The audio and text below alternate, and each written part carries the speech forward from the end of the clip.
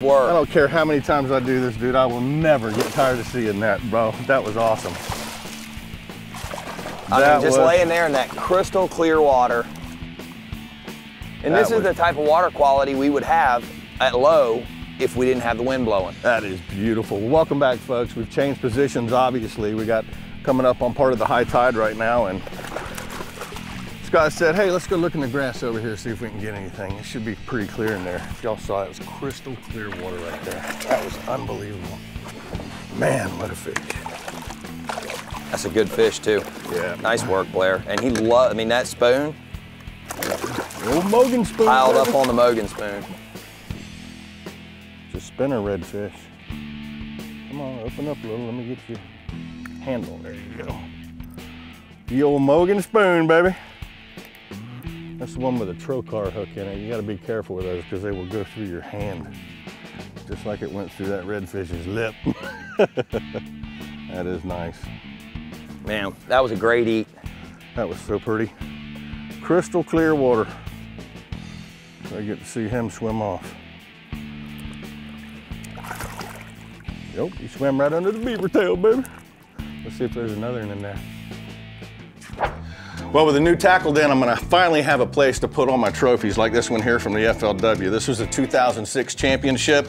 Fished it with Captain Tad Vandemark, and let me tell you, I had a ball doing that, and it was just some great memories. And I think Captain Scott Owens is now a believer in the Mogan Spoon. He's called me several times asking for several more, so he's definitely a believer like I am in it. Up next, we shot down to Stuart, Florida to fish with one of my favorite people in the world to fish with, Captain Mark Nichols. And I think Mr. Producer Man has said that Mark has made the most guest appearances on Addictive Fishing out of anybody. Speaking of guests, if y'all want to become a guest on Addictive Fishing, make sure you go to our website, addictivefishing.com forward slash casting call. We're looking for new guides. You don't have to be a full-time guide. You can be a YouTuber, recreational fisherman, anybody out there. If you think you got what it takes to put me on some big fish, let's do it. Welcome back to the season finale of Addictive Fishing here 2017. You know, we went down to Stuart and fished with Captain Mark Nichols, the creator of DOA Lures, and uh, you never know what you're going to get when you're fishing with Captain Mark.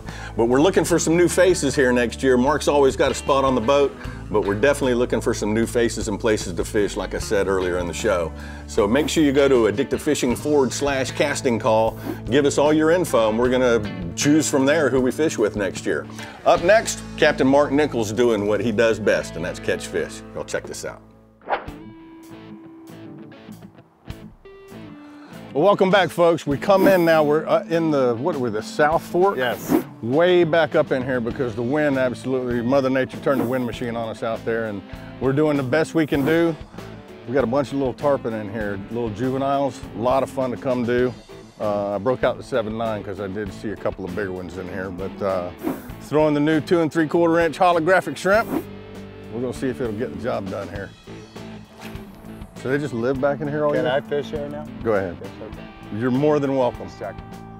Cool. Did you fish? I catch figured since you did make the bait, so? Yeah. we'll let you fish it. I think he might actually told me to make this one. There he is. Yeah, That's baby. a nice fish.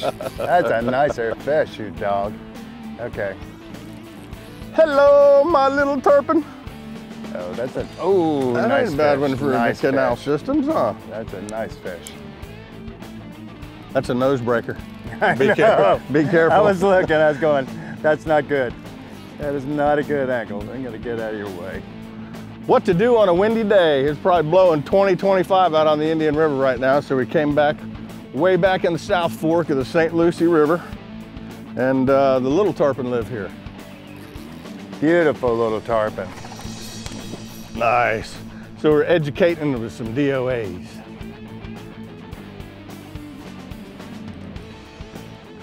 These little guys jump so much. There's such a cool fish. You ready? Right here by the boat. Come on. Oop. Sweet. He's still a little green. You think? I think so. I'm glad I went to the 7.9 though. I had that 7.2 out. That thing would have been educating me. That's a nice little fish right there. What a gorgeous fish, man. Now, you think these tarpon just live up in here all year long till they get big enough to migrate out? And Yeah, Yeah, this one's close. I mean, but you know, I haven't seen any giant migrations. Although I have started seeing more and more fish. It's it kind of should. It's going to be an early year. Everything's so warm. Yeah. This fish generally, when they get, I do believe, about that size, is when they start to migrate off. Yeah, I've seen them this, especially the males this size. I don't know if it's Right. male or female yet, but. I'll let you sex it if you want to. What'd you say? That's just all I got to say. you allowed to say that anything, on TV? anything else I say beyond that, it's going to get me in trouble. And they do just like the big ones. When they're ready to give up, they'll come just on their side and, Yeah, so what do you have for me to grab this fish with? uh, your hands. Okay, that's what I figured you were going to say. That fish could, you know, make my hand rough and everything. I have to tell my friends that my hand's bleeding because I was holding this tarpon. It'll smooth They'll out. feel really bad for me. I didn't see where the hook was yet. I haven't either. Oh, perfect. Right in the top of the mouth. Open that jaw. Get that jaw. Yeah, you're laughing over Meanwhile, back on the Indian River. there you go. Right, holographic shrimp. So cool, sir. Yeah, those size you can pick up. Sweet. Nice fish. Hey, you get a little wet, why don't you? That was a good one there. You got me good. That was so cool, sir. That was a cool hit. Thumped it just like a tarpon does. I felt that little thunk and then set the hook. Thank you, ma'am. So cool. Sweet. I'll let her get me wet. Boy, I ain't got that wet with the fish in a while. Thank you very much, sir. You're welcome. My pleasure. That was so cool. That is cool. Look how far up that line. Nope, that's just slime. I thought his mouth got up there. A lot of times those tarpon will You gotta swallow bring a couple here. of towels with you or anything? Yeah, I got something. We'll dry you off in a minute. but uh, a lot of times they'll flatten that line up there, but he flattened it right there. So always retie, which is exactly what I'm gonna do. Slimy. Might as well at this point. I tell you, if y'all ever get a chance to go fishing with Captain Mark Nichols, he is one entertaining and interesting person to fish with.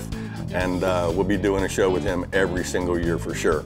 Up next, we traveled to Destin and fished with a couple of military vets and uh, one lasting impression. Y'all stay tuned, we're gonna be right back.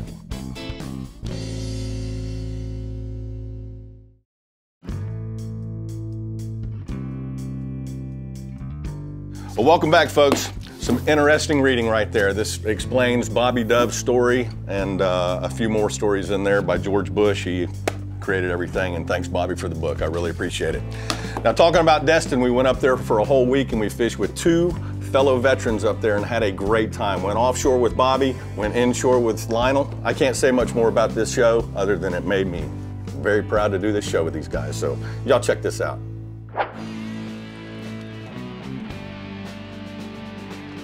Ramor is trying to stick his head up out of the water to eat it. Well, welcome back, folks. Still sitting off of Destin right here. We got Captain Bobby Dove with us, and uh, we are catching fish today. It's a catching show today. Now, I told you earlier in the show, we're going to tell you a little bit about Bobby and what he does. As you can see, he is a survivor from Afghanistan.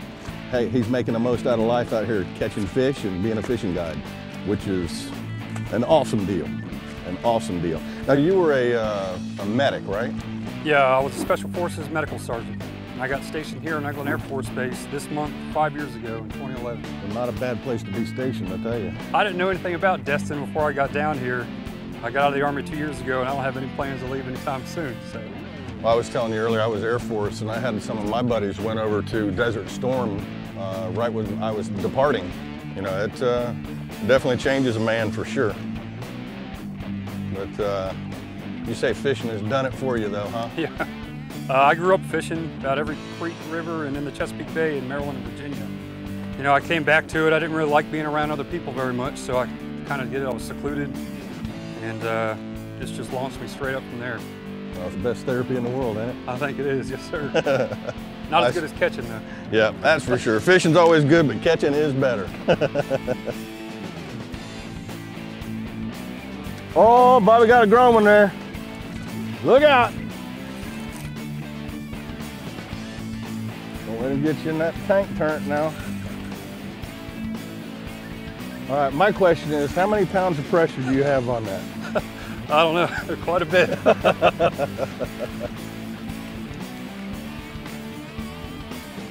Yes, sir, I think. You don't know how much it's not though? What? Enough to keep them down there. Yeah. Here we go. Oh, that's a good. You know, you know why you're catching big ones today, right? Why's that? They know the season's closed today. Yeah. There's the color. Right behind you. Yes, sir. That is a nice snapper. That's a big one for Destin, ain't it? I usually get one or two a day about this size. Yeah. Usually about 10 to 13 pounds. Open up. That's a pretty fish. Yes, sir. Nice circle hook. Roll it right out. A beautiful red snapper. Hey, even makes you look good, Bobby. Yeah. You gotta make me look a little better. tell you, I just love this fall season down here. That is beautiful. See if we can get her back down there. Get on, baby. Bobby, awesome job, brother. Come on. I see somebody drop a cannonball out of the sky on it. Don't hesitate to throw kind of out that way too. You can see where the rest of the schools of the mullet are. There's a hit. bite. I don't know if I hit a mullet or a hit. Let's slow it down. I think that's a three, four redfish right in there. Just tail ain't see. Oh yeah, yeah, I saw that one. Yeah. A lot of little potholes. You know, for the longest time, I was always looking on the flats for holes. Uh huh. Looking for potholes when I was a kid. People say fish the potholes. I didn't know. You know, I was looking for holes out on the flats. I didn't know it was just a sandy spot in the middle of the grass. That pothole's probably a foot deeper than the, you know, Yeah. they just sit in there. Oh, follow our follower. Oh, Ooh. here we go. Ah, I thought he would. He wants it. Come on. See him? Yeah. There he is. Oh, oh yeah, baby. oh man, what a bite! Oh my goodness. Ain't nothing better than a, well, that's a trout. The top water is just crazy. Thought it was a redfish. I think it might be a small. That's a little trout. He had some heart. I, I don't know how. It's a nice one. He wanted that MirrOlure. Easy. Come on, treble hooks, don't get me today. I don't need it. Nice little pretty trout. First fish of the day. Nice. Well, I tell you folks, that was a trip of a lifetime fishing with those two guys up there that week. And speaking of trips of a lifetime, y'all been asking about it, and we're doing the contest finally. Go to addictivefishing.com and there's gonna be a spot on there where you can register to win a trip with me back on the Space Coast in my home waters. And uh, it should be pretty fun. We're gonna give away like $5,000 worth of prizes to make it just a memorable trip for whoever wins. So make sure you go to the website, Check out the little spot, register to win, come fish with me on the Space Coast, and we will have a ball. Stay tuned, we're gonna be right back with your favorite part of the finale, which usually isn't mine, it's the bloopers. We'll be right back.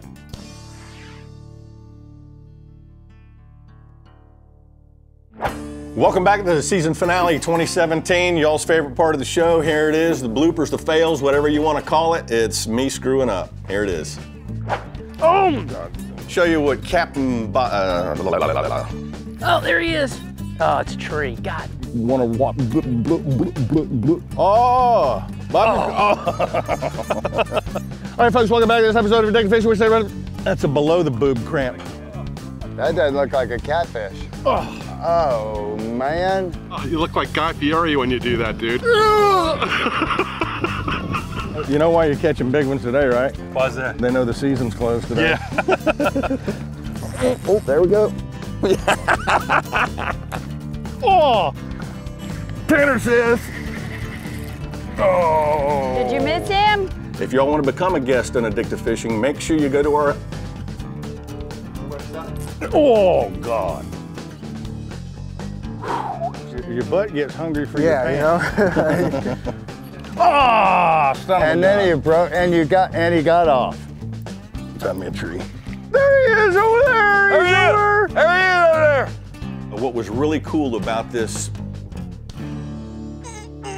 episode well, that about wraps up 2017, bloopers included. Make sure you go to our website, addictivefishing.com. We're gonna have so much more new stuff here next year. We got the tackle den that's going in, be able to do product showcases, show you how stuff works underwater, rigging rods, all sorts of stuff. So make sure you stay tuned for Addictive Fishing 2018. It's gonna be a, definitely a new season for us. I wanna say thanks to everybody that makes Addictive Fishing happen, our sponsors out there, and I think we have the best sponsors, products on our show. Uh, it enables me to catch fish and do what I do. And also want to say thanks to the fans out there for tuning in each and every week and all the tune-ins y'all do on the YouTube site. Make sure you go there and sign up and subscribe to the site. Make sure you hit that little bell up there too because you'll be able to get the notifications as well. And uh, that's about a wrap and we'll see you on the water.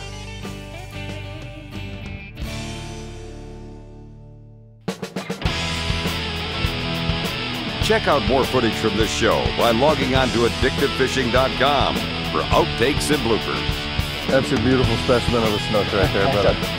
That is a beautiful fish. Hey folks, my first walleye I've ever touched. How's that for a fish?